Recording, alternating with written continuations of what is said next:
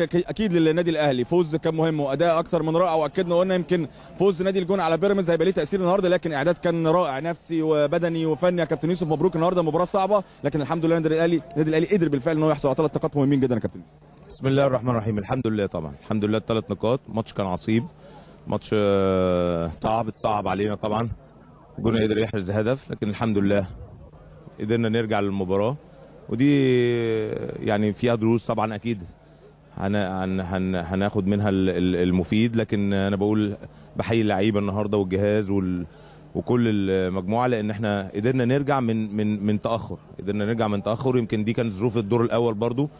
في في ملعب السلام برضو قدر الجونه يحرز هدف مبكر ثم عدنا بهدفين. النهارده بنكررها على ملعب الجونة. فأنا بقول الحمد لله مبروك طبعا الثلاث نقاط. قدرنا من خلال التغييرات مستر لاسارتي تغييرات آه، نيدفيد مع مروان مع جيرالدو. عملوا التكملة اللي إحنا كنا نتمناها والحمد لله. أنا بقول ثلاث نقاط مهمين وإن شاء الله هناخد منها الدروس المستفادة.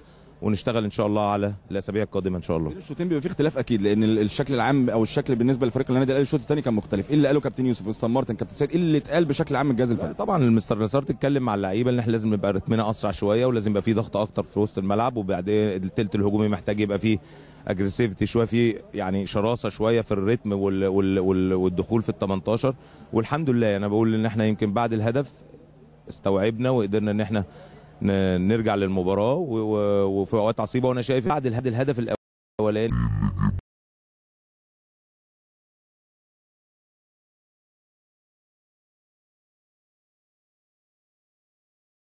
بتاعنا والحمد لله جت حتى الكرة الثانية بتاعت ناصر ماهر.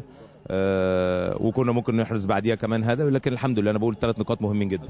شكرا لك. بنبارك أكيد للكابتن محمد يوسف طبعا مدرب فريق النادي الأهلي. فوز كان مهم جدا يا كابتن إسلام. إصرار اللعيبة النهارده الشوط الثاني كان ليه اختلاف كبير جدا. أكيد زي ما بنقول وبناكد ثلاث نقاط مهمين جدا في مشوار النادي الأهلي. النادي الأهلي يصل للنقطة 48 اللي جاي أفضل لسه المباريات عديدة ولسه إن شاء الله